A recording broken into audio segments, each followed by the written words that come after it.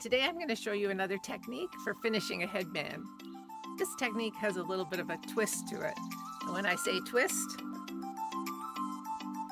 I mean an actual twist. So you can wear this twist at the front or at the back, like I'm wearing mine now. If you wear it at the back, it feels like more of a bandana headband and it's quite comfortable. I wear mine all the time. So let's get started. Let's do some twisting, some shouting, some twisting by the pool, some twisting of the headbands.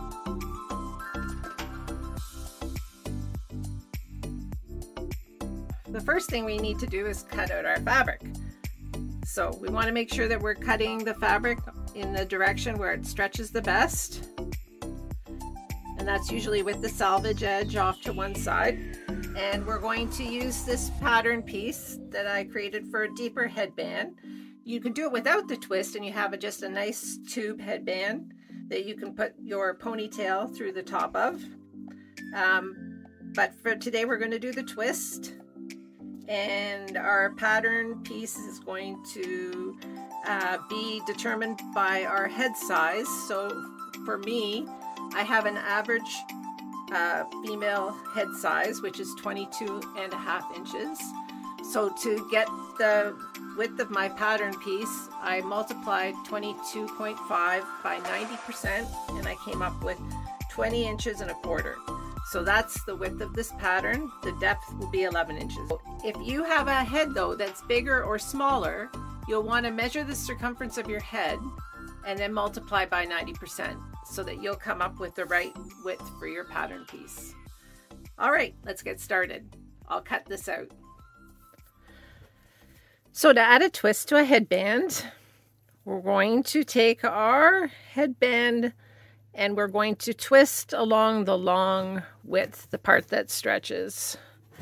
So here we have our edge that we're going to sew together. This is how we would make the headband normally. We would just sew this seam together and that would be the the back seam of the headband.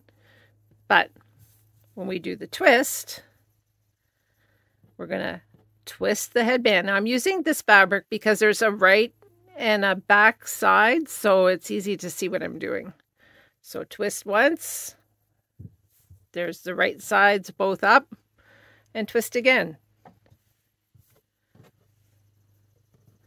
Now we're going to pin these together and we're going to sew this seam, this back seam together, right sides together. And you, you can do this actually with any um, depth of headband. If you wanted to do a narrow headband with a twist, you could do that.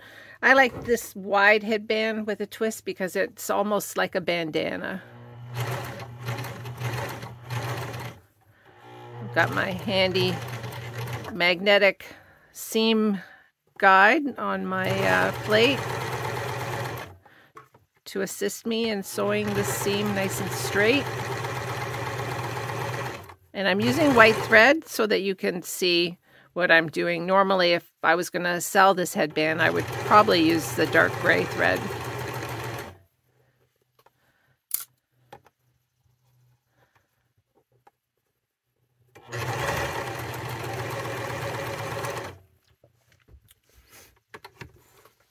My trusty snips. Okay, now that we have this back seam sewn together, I'm going to sew down either side of this edge just to flatten this seam. So I'm going to have a top stitching on the right side that you'll see. So I'll try to be as neat as possible, but I am using the white thread, so you're going to see all my imperfections too. So we're just going to sew this flat because that means the, the seam is going to be comfortable against the head. It's just going to blend into the headband. You won't have a big bulge there. I do that for all of my headbands. I've removed my trusty magnet. And I'm going to just keep checking underneath to make sure that I have my seam flat as I go. I find it easy to do it this way. I suppose that you could pin this as well.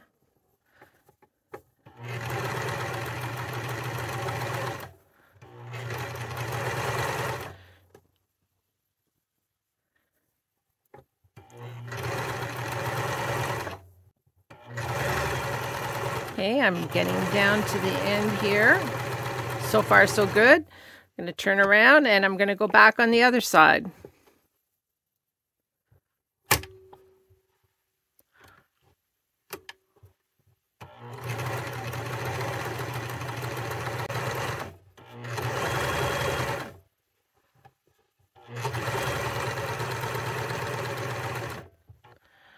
Now it doesn't look too bad with the white thread. You, if you really wanted to uh, make a bit more of a statement, you could use a, a really brightly colored thread or something pale like a pink, which would look pretty as well, depending on the fabric that you choose. This fabric is actually a bamboo rayon, and I get all of my bamboo um, blends from fabric.com. which is where this one came from. So, okay, so now you see that the back seam is done. And now we're going to sew this headband together all around this long edge. So uh, what I've done is I've got the back seam facing up and I'm going to enclose the rest of the headband inside. We're going to create a little pocket. So I'm going to sew from pin to pin leaving this part here uh, open so that I can turn the headband right side out. Pin.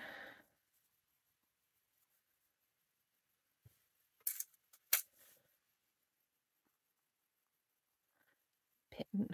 All right, now we're ready to switch to the zigzag stitch on our sewing machine. And if you don't have a zigzag stitch, you can use a serger or you can use the straight stitch too. Brought my trusty magnet guide back. And I'm going to start my seam just on my side of that back seam. And I'm going to sew around to that other pin.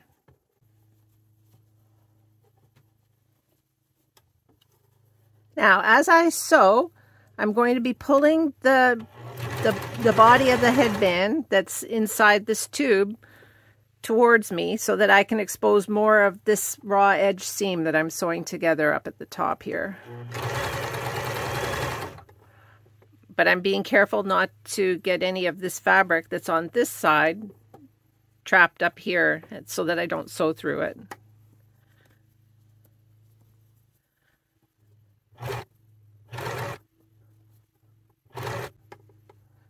I like using this bamboo fabric as well because it's a, a little bit lighter than the other uh, knit that I use. Uh, so it's uh, it's better for this these wider headbands because you can um, scrunch them up and make little um, pleats and ruffles in them if you want to create a narrower headband look when you're wearing them.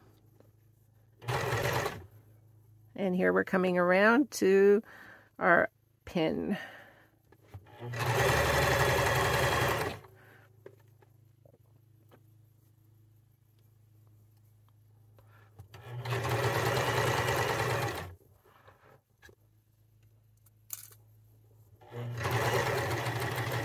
I'll come up close to that seam and I'm going to back stitch.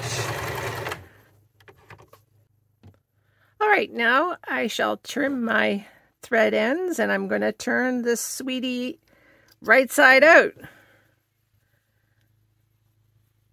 So what we have here is a, sort of a tube with a headband inside. So I'm going to open up that little part that I left for pulling out the headband and I'm going to pull it out. And surprise, we have a a headband.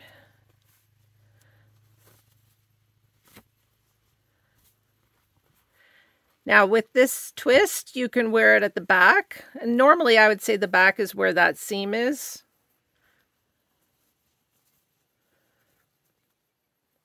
And then the front of your headband will be wider, so you can wear it like a bandana. You can have half the twist at the front and half the twist at the back. So you've got sort of a gentle crossover. which is kind of nice too.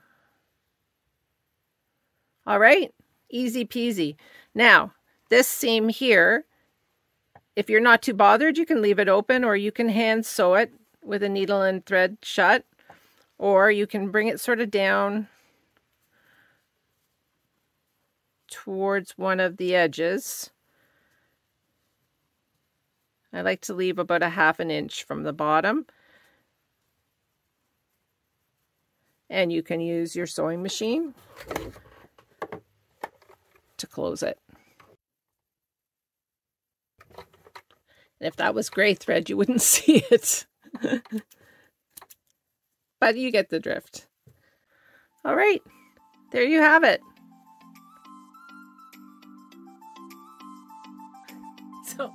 Now we've done the twist.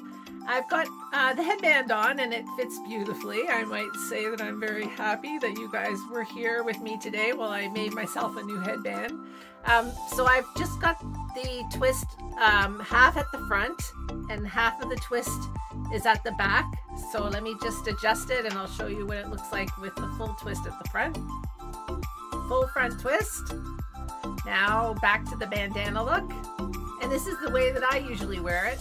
So you can get a lot of protection for your, the top of your head actually if you're working outside in the garden. Uh, but I like it because it keeps the hair out of my eyes when I'm sewing all of these hats and headbands that I make. So, and you can also give it a bit of texture and make it a little bit narrower just by pulling on it and creating a few wrinkles and ruffles.